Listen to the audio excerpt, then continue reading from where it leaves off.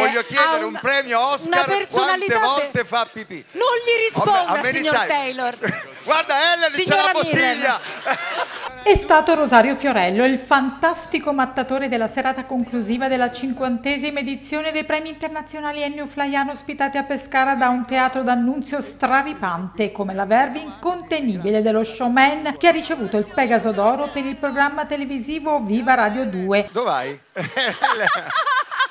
Se l'hai portato. Ellen. C'è stasera che spettacolo. Grazie Ellen, thank you very much. Thank you very much.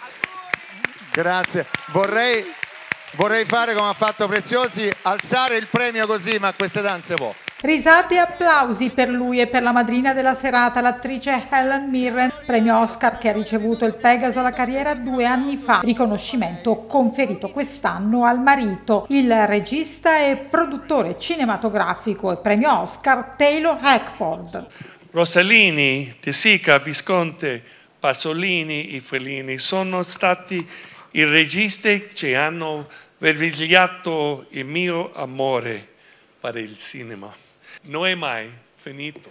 Nel corso della diretta di Rete 8 condotta dal direttore Carmine Perantuono abbiamo seguito la manifestazione dal tardo pomeriggio con interviste nel backstage fino alla conclusione della cerimonia di premiazione dei vincitori delle sezioni cinema, teatro, televisione e giornalismo. Tanti volti noti del mondo dello spettacolo premiati che si sono aggiunti a un elenco lungo mezzo secolo. Tutto ha avuto inizio grazie al fondatore Edoardo Tiboni al quale è stata dedicata l'edizione di quest'anno. Dopo la sua scomparsa a guidare i premi è la figlia Carla Tiboni che ha ricordato lo scrittore e sceneggiatore flaiano sulle note di un altro grande Ennio, il compositore Morricone. La prima a salire sul palco è stata Virginia Raffaele, premiata per lo spettacolo teatrale Samusà. Checco Zalone. Ah, giusto? Eh beh, Guarda, è vero, è posso vero. dire che è veramente surreale, ma io ho una cosa in comune con le Mirre ed è Checco Zalone. La giornalista Martina Riva ha presentato anche questa edizione in maniera ineccepibile e ha intervistato tutti i premiati mantenendo ritmo e attenzione del pubblico. Per il teatro ha ricevuto il Pegaso d'Oro anche Filippo Dini, premiato per la regia teatrale del Crogiuolo di Arthur Miller, l'attrice Lucia Mascino per la migliore interpretazione femminile per lo spettacolo Ghiaccio diretto da Dini, Graziano Piazza per la migliore interpretazione maschile per Edipo Re di Sofocle e Red Canzian per Casanova Opera Pop. È Grande bella sta cultura. cosa, 50 anni del premio Flaiano, Sì, sì, 50 anni di vostri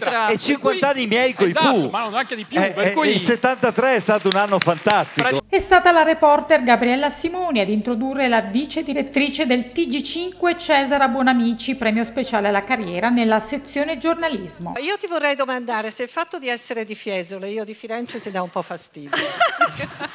Ottima Ma domanda. io ti ricordo che Fiesole è venuta prima di Firenze perché gli Etruschi c'erano da un bel po'. L'attrice Olivia Magnani ha ritirato il premio conferito alla memoria di sua nonna, la grande Anna Magnani, nel cinquantesimo anniversario della morte. fatto di film eh, che io personalmente credo andrebbero mostrati nelle scuole. Per la regia del docufilm Oceano Canada, dedicato ad Ennio Flaiano, premio ad Andrea Anderman. Ennio Flaiano amava il teatro, non amava affatto la televisione e sognava di fare il regista di cinema. Sempre per il cinema, per la migliore sceneggiatura del film La stranezza, Pegaso d'Oro a Roberto Andò, Ugo Chiti e Massimo Gaudioso, che ha ritirato il riconoscimento anche a nome dei due colleghi. Migliore interpretazione femminile per il film Il primo giorno della mia vita, quella dell'attrice pescarese Sara Serraiocco al suo secondo Pegaso d'Oro. Per me è un premio molto importante che posso condividere con la mia famiglia che è qui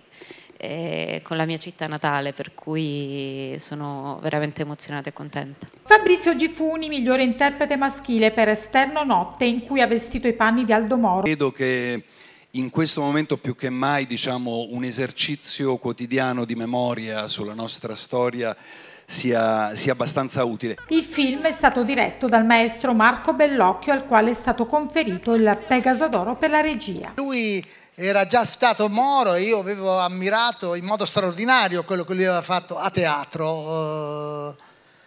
Quindi diciamo una cosa eccezionale. A Riccardo Milani, direttore artistico del Flaiano Film Festival, la presidente Carla Tiboni ha consegnato a sorpresa il Pegaso d'Oro, mentre a ricevere il riconoscimento per il concorso Opera Prima è stata Marta Savino per il film Prima Donna. Tra le altre cose Riccardo è una persona gentilissima, disponibilissima e questo ci aiuta sicuramente molto nel nostro lavoro e nel costruire il festival. Grazie. mille, grazie, grazie. Terzo, giusto? Sì, è il terzo. Subito dopo è stata la giornalista e scrittrice Lilly Gruber a salire sul palco e a ritirare il premio alla carriera per il giornalismo dalle mani delle colleghe Maria Cuffaro e Gabriella Simoni. Torna sul campo. Abbiamo bisogno anche lì di gente come te.